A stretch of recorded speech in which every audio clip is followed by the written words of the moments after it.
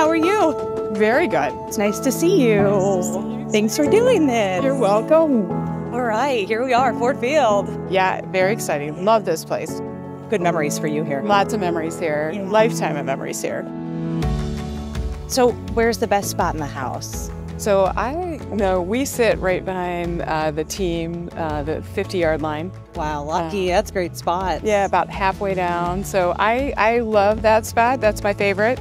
You uh, you get to know the players a little bit more and kind of what's behind their dreams and what's going on. And so you kind of you're just cheering for them and rooting for them in addition to the game. Robin, thanks for joining us. You're welcome. My pleasure. Yeah, we're excited to get a chance to sit down and get to know you a little bit more. And it sounds like you come from a pretty rich background. You tell me a little bit about growing up and, and where you come from. Yeah, so I uh, uh, I grew up on a dairy farm. My dad uh, was a dairy farmer his whole life, um, from the day he was born till the day he died. Um, and um, so I'm very used to the whole 24 7, 365 work is life and life is work and getting up in the morning. And um, a lot of, of what I know about, um, you know, being independent and persevering and um, being uh, determined comes from, you know, you, it's a place that you have to survive and thrive all at the same time. And now it's here in Michigan. You're a Michigan girl. I am a Michigan girl. I've spent my whole career here. I have about um, 30 years in the healthcare industry. I actually started at uh, uh, Deloitte as an auditor and a consultant, and it was there that I fell in love with um, healthcare.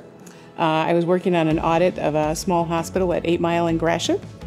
That's where um, I, I determined that that's the place that uh, had my passion uh, when you talk about an industry, and that, that comes to really in almost every position, in every position that I've had. Um, it is about um, really what we can do uh, to improve access and affordability here in the state of Michigan for care. And that affects your family, your friends. Um, so it's very satisfying.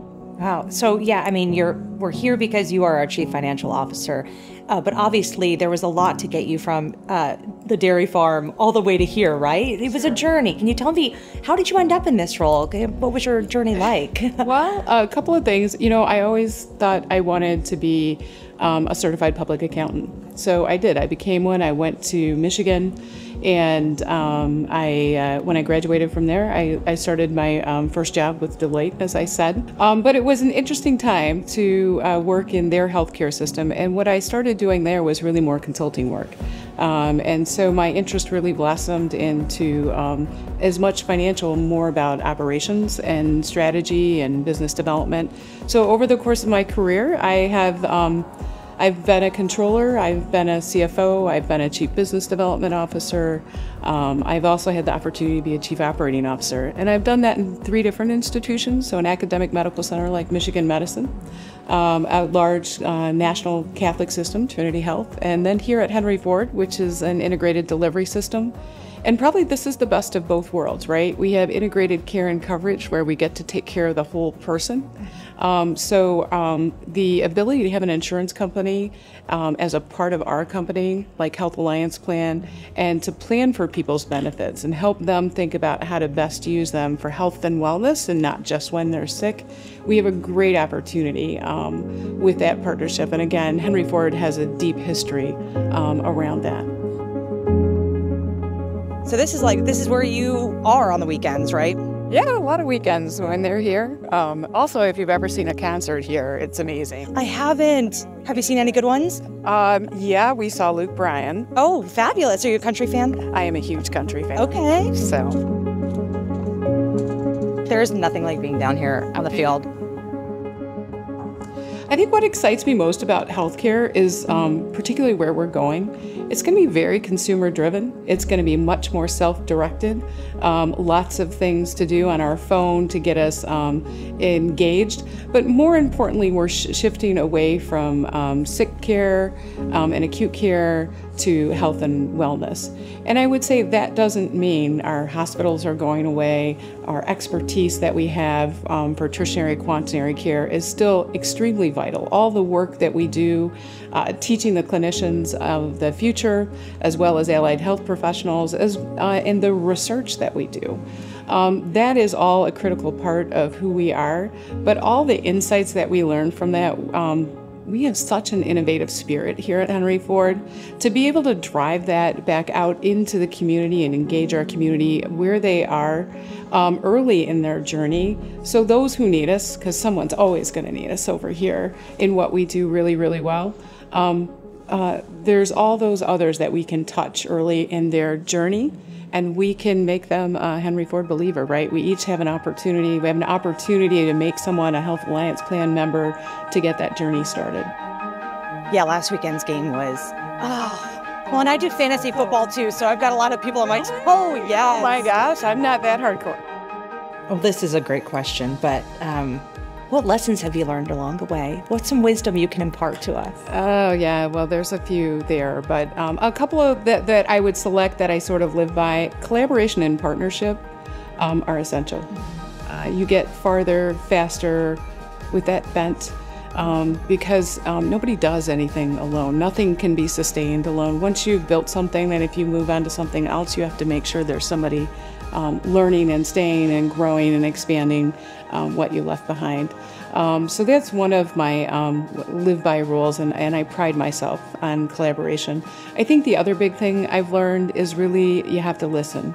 So the only way um, you're successful in collaboration or successful in moving large, complex um, changes forward is listening to others.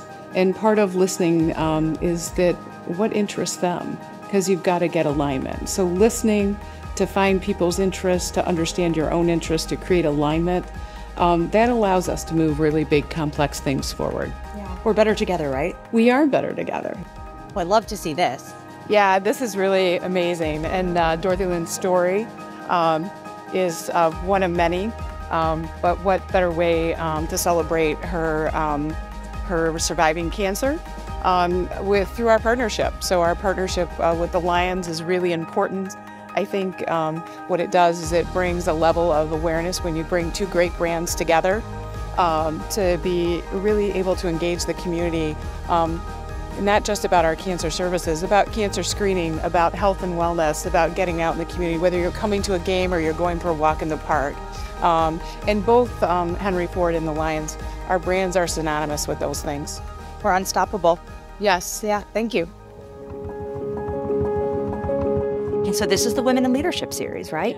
And we're so proud of our women leaders. Um, what would you tell the upcoming generation of women who are entering the workforce, going to school, thinking about their career, whether it's healthcare or finance or whatever they want to do? Um, what are what are some bits of wisdom you can impart on on women who are who are looking to us as examples, right, of, of what they could be in their career?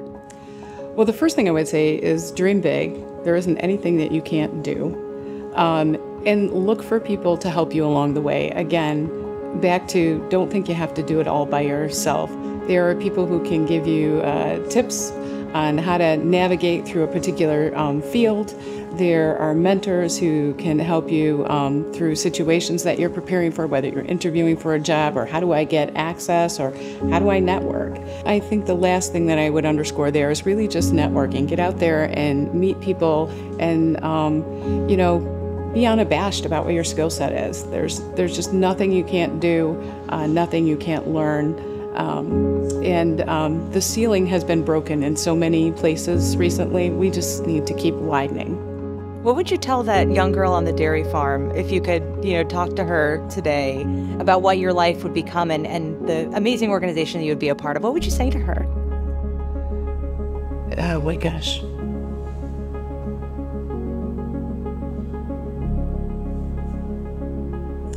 I guess when I think about it, I think I would say to her, You have no idea uh, how passionate you're going to be about your community and about the people that you work with and what we're able to accomplish together. Well, I didn't expect to get Me either.